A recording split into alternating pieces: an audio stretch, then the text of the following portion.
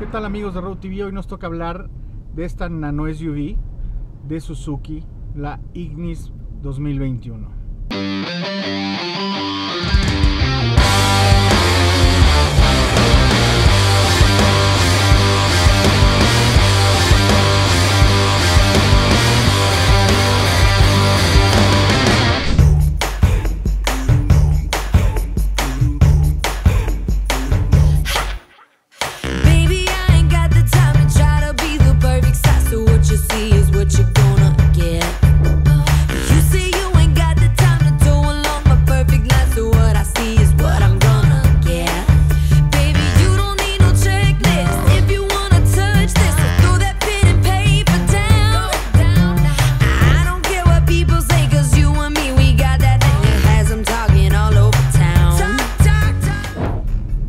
Acaba de recibir un facelift, entonces uno de los principales cambios de, este Ignis 2021 es el frente.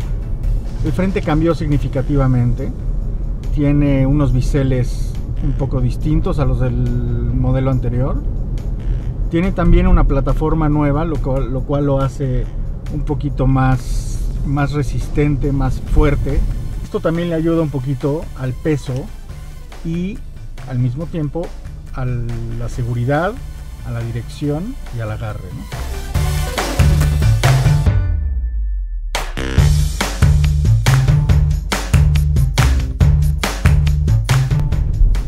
Está disponible en cuatro versiones, las cuales son GL con transmisión manual y GL con transmisión CVT y la GLX con transmisión manual y obviamente la transmisión CVT también.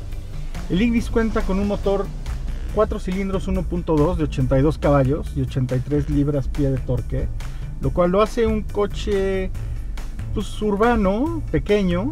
El consumo está estimado en 21.8 kilómetros por litro, lo cual es una maravilla.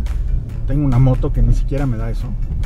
No es, no es, este, no es un coche muy veloz, pero tampoco nos queda mucho que pedirle. ¿eh? O sea, se mueve bien, es, es cómodo, es amplio. Por dentro, la verdad, para el tamaño, para el tamaño exterior, yo cuando me subí dije, pues realmente no necesito más espacio. El tamaño del habitáculo es muy bueno. Yo mido 1,80 y voy bastante cómodo en cuestión de altura de- del techo a la cabeza. Y tiene buenos atributos de, espacio. Obviamente la cajuela es pequeña, pero, pero en cuestión el habitáculo está bastante bien, está muy cómodo. Lo- los asientos están muy bien. eh, la suspensión, la dirección, todo se siente muy bien. Obviamente al no ser un deportivo no es, no es, no es tan rígido, no es tan duro. Cabe en cualquier lado como si lo metieras, como si metieras un cochecito de, Hot Wheels en, cualquier cajón. Este, es pequeñito. El infoentretenimiento está muy bien, su pantalla está perfecto. Tienes la compatibilidad con Apple CarPlay y con Android Auto, lo cual ya es casi casi un must en todos estos coches. Bueno, en casi todos los coches tiene controles por todos lados, tiene los controles al volante, tienes espejos eléctricos, vidrios eléctricos, entrada USB, tienes, tienes realmente todo lo que puedes esperar de, de un auto en estos tiempos.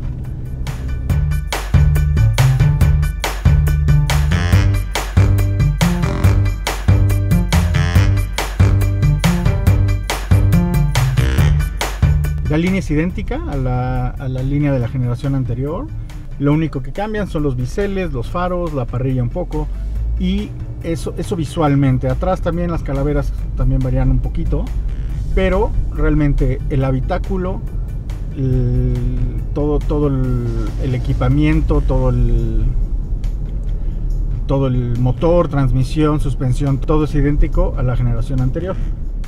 El GLX trae el volante forrado en piel, tiene una luz LED diurna, lo cual siempre va a estar prendida para seguridad de todos.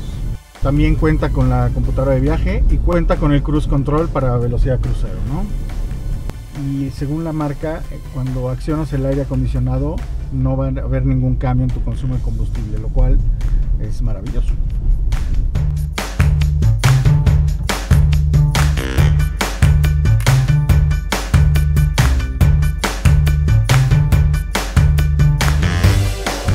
Ahora que manejo este Ignis, recuerdo mis, mis épocas de, de joven y mi época de, de mi primer coche. Este, y me impresiona cómo ha cambiado la tecnología, cómo ha cambiado la comodidad de los coches. También mi primer coche era como el más baratito, el, el- el entrada de, de- de marca, ¿no? Y este y realmente era un coche muy distinto, era un coche donde el sonido exterior era muy, muy alto. Este Ignis es bastante silencioso, está muy bien aislado.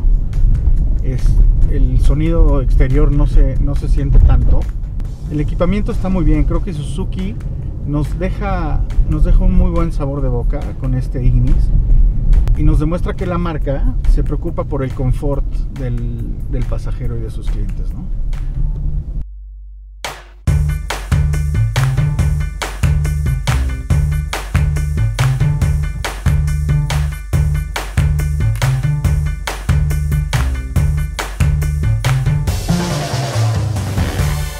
El veredicto que les podría decir es que Ignis es una gran opción si lo que buscas es un auto pequeño, es un auto rendidor, es un auto cómodo, con todas las amenidades, desde la pantalla touchscreen como el Apple, Car- el Apple CarPlay y Android Auto, o este, el aire acondicionado, todas estas cosas que, que- que hacen, que hacen que el viaje sea más cómodo y aparte más en ciudad y más que te puedes estacionar donde sea, etcétera. Creo que es una gran opción y creo que todos deberían de ir a, a probar este cochecito si es que si es que entra des- desde su presupuesto.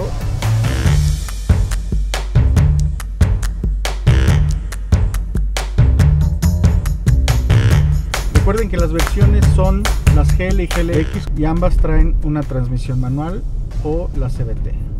Entonces sí les recomiendo que tomen en cuenta este nano SUV como lo llama Suzuki. No dejen de manejarlo, no dejen de irlo a conocer y sorpréndanse ustedes mismos, ¿no? Yo soy Franz Decke y les agradezco haberme acompañado en esta prueba de manejo del Ignis 2021 después de su facelift en este nuevo lanzamiento de la marca Suzuki. Hasta la próxima.